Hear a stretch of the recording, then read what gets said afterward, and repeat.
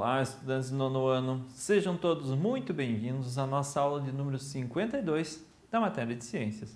Sou o professor Celso e hoje nós vamos falar sobre a Via Láctea. Nossa parte 1. Vamos dividir em duas partes para deixar bem explicadinho a origem, algumas teorias, alguns mitos sobre a nossa Via Láctea. Via Láctea.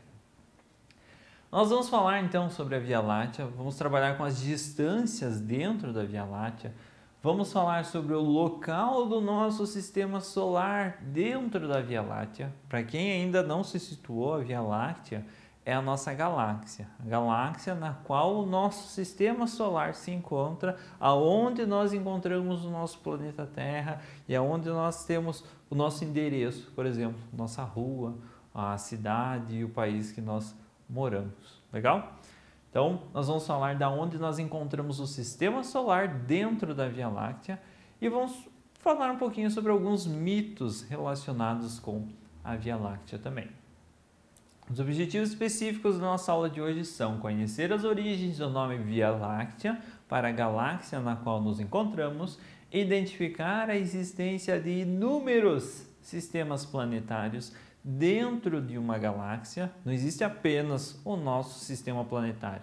Nós chamamos o nosso sistema planetário de sistema solar porque o Sol é a nossa estrela principal, nossa estrela mais próxima a qual os planetas orbitam.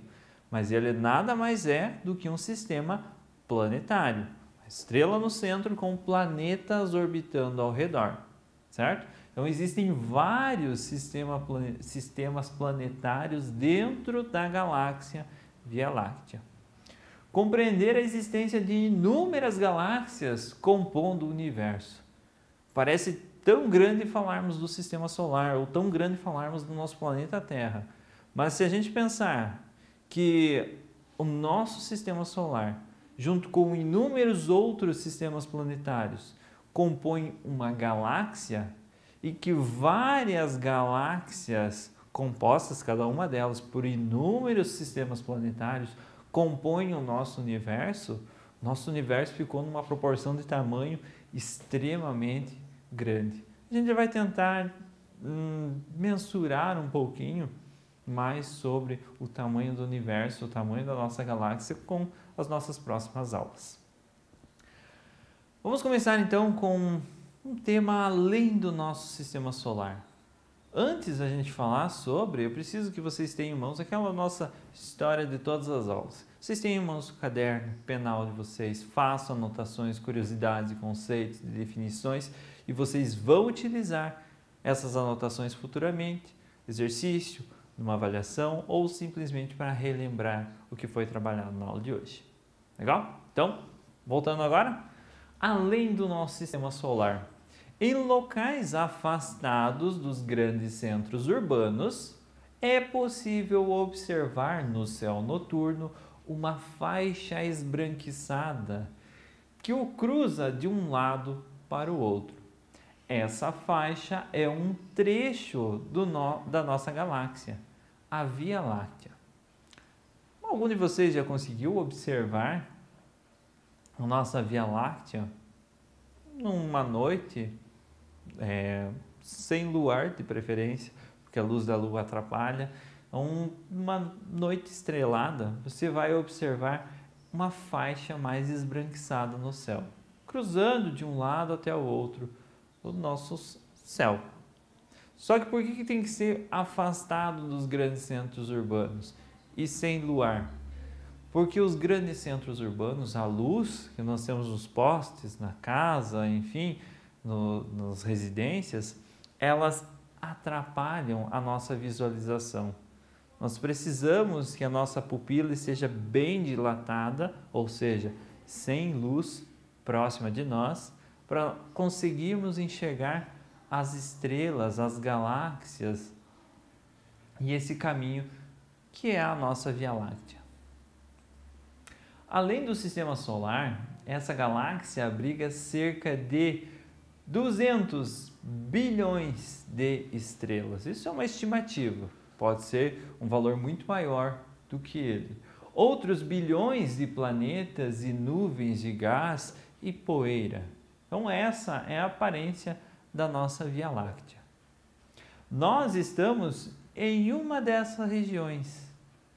Nós somos um, um desses pontinhos brilhantes, ou melhor, o nosso Sol é um desses pontinhos brilhantes. E nós, um pequeno planeta que estamos orbitando ao redor desse pequeno pontinho brilhante. Então, comparado com a galáxia, com a Via Láctea, nós somos muito pequenos. As galáxias são formadas por estrelas, planetas e suas luas, cometas, asteroides, gás e poeira. Elas podem ter diferentes tamanhos, luminosidades e formas. Se vocês observarem, nós temos várias galáxias nessa imagem e elas apresentam, se apresentam de colorações diferentes. Nós temos algumas mais amareladas, outras mais azuladas, outras mais avermelhadas, esbranquiçadas, enfim, elas apresentam coloração, luminosidade diferente. Elas vão apresentar alguns formatos diferentes também. Umas são mais achatadas e largas, bem arredondadas, outras não são tão arredondadas, são mais ovais, outras não têm uma forma definida e cada uma delas vai ter um, bilhões de sistemas planetários, vai ter bilhões de estrelas que compõem essas galáxias. Estudos astronômicos indicam que existem bilhões de galáxias no universo. A gente já falou que a nossa Via Láctea é extremamente grande. Agora vocês imaginem bilhões de galáxias semelhantes à nossa Via Láctea espalhadas no universo. Ficou muito grande esse universo para a gente conseguir imaginar. E o que, que, são essas galáxias? Com o auxílio de equipamentos sofisticados, os astrônomos conseguem observar e estudar a Via Láctea que abriga, segundo estima-se, cerca de 250 bilhões de estrelas. Durante décadas, acreditou-se que o Sol ocupasse o centro da nossa galáxia, fato refutado em 1920 pelo astrônomo estadunidense Harlow Shepler. Então, no início, nós acreditávamos, acreditávamos que a Terra era o centro da nossa galáxia, o centro do universo. Nós conhecíamos tão pouco sobre o espaço, sobre a astronomia, que nós acreditávamos que a Terra era o centro do universo, o centro de todas as coisas, que tudo orbitava ao redor da Terra. Com o passar dos anos, precisou chegar até 1920, recentemente, para descobrirmos efetivamente que nós não somos o centro do universo, muito menos o centro da nossa galáxia, muito menos o centro do nosso sistema solar. Nós somos apenas mais um planeta orbitando ao redor de uma estrela que nós chamamos de Sol. Após efetuar diversas medições e de aglomerados de estrelas até a Terra, Shapley concluiu que o Sol se encontra a uma distância de aproximadamente 30 mil anos-luz do centro da nossa galáxia. 30 mil anos-luz.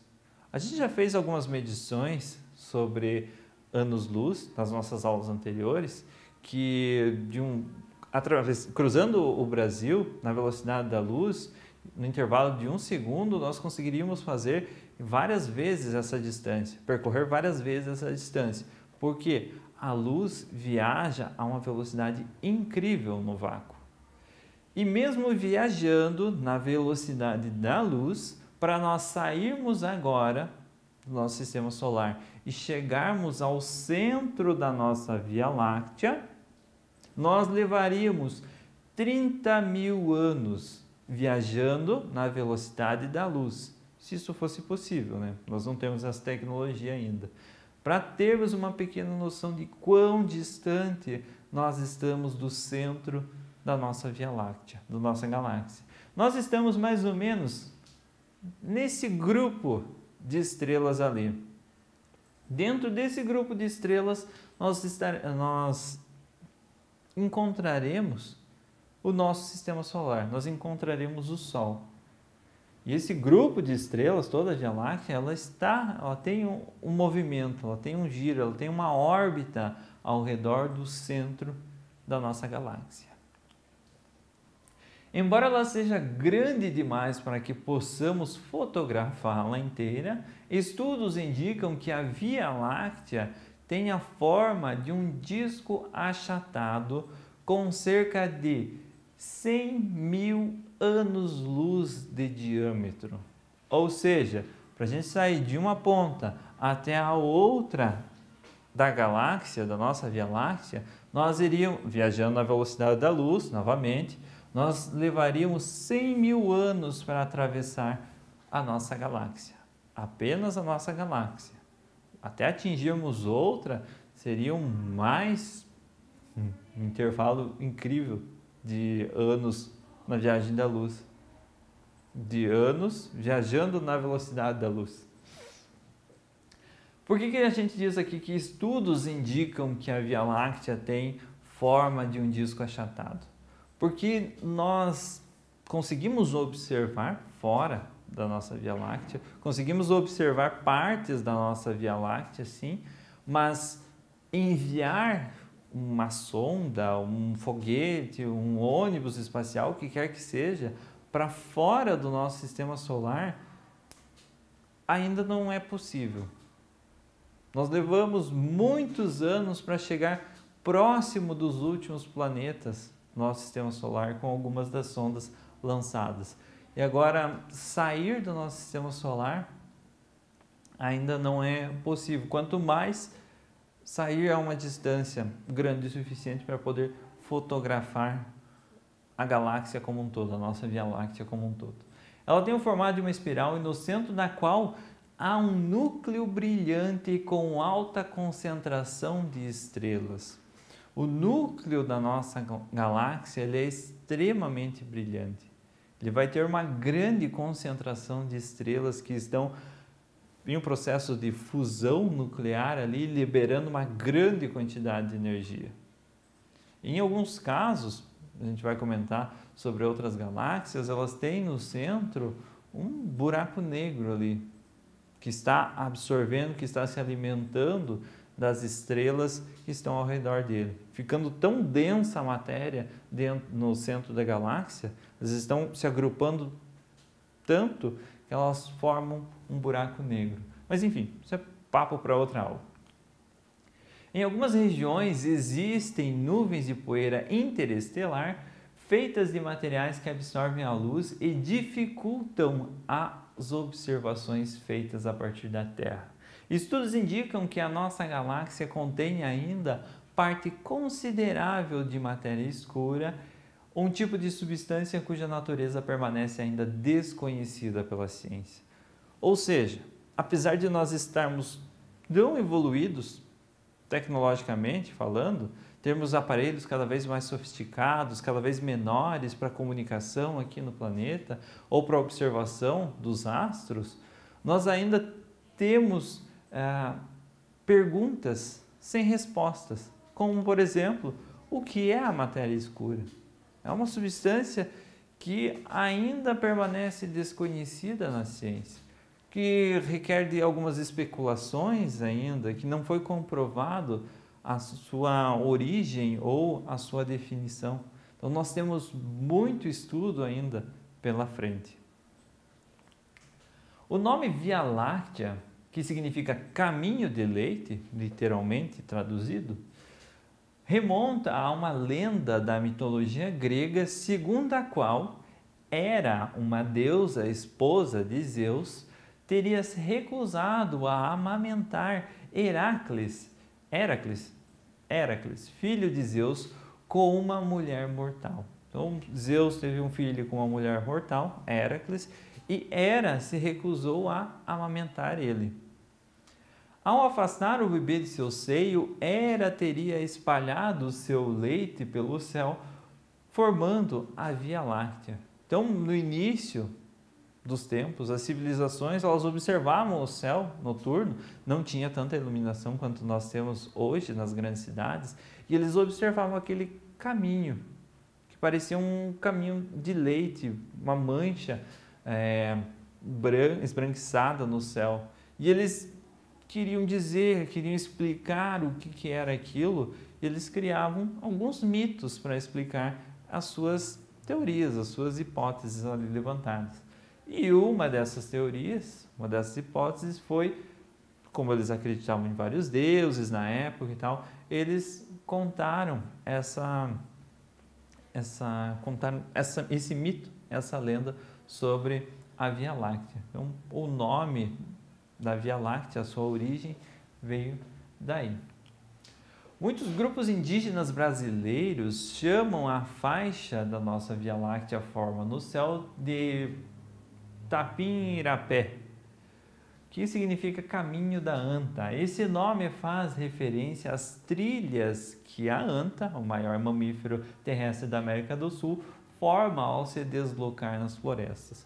Novamente, um mito associado à sua cultura. Então, os indígenas brasileiros, eles estavam acostumados com animais na mata. E a anta, ela era responsável por fazer trilhas, caminhos na mata. Então, aquela mancha no céu parecia um caminho percorrido por algum ser divino, algum ser celestial, eles associaram isso a um animal que era de conhecimento deles. Mais uma lenda, mais um mito sobre o caminho formado pela nossa Via Láctea. Embora os estudos sobre o universo tenham avançado, apenas uma pequena parte dele foi explorada. Compreender o funcionamento das galáxias possivelmente ajudará a entender melhor a origem e a evolução do nosso universo. Então, a partir do momento que nós compreendermos da onde surgiram as galáxias e qual vai ser o destino final delas, nós vamos conseguir compreender melhor a origem e a evolução do universo como um todo. Pessoal, espero que vocês tenham gostado da aula de hoje.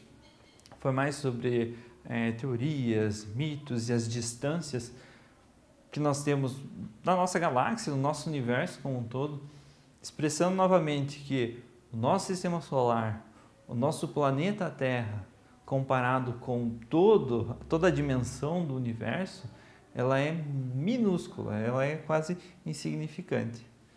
Claro que nós devemos dar valor a ela, ela, no caso do planeta Terra, porque é aqui que nós vivemos, é daqui que nós tiramos o nosso sustento e nós precisamos desse planeta para sobrevivermos. Mas vale lembrar que conhecimento sobre a origem e o futuro das estrelas, do nosso universo ou do nosso planeta, é muito importante nós sabermos para possivelmente nos prepararmos para alguma, um acontecimento que venha a ocorrer. Tá certo? Pessoal, espero que vocês tenham gostado da aula. Se ficou alguma dúvida, retoma o vídeo, assista novamente, faz as pausas necessárias para anotações e nos vemos na nossa próxima aula.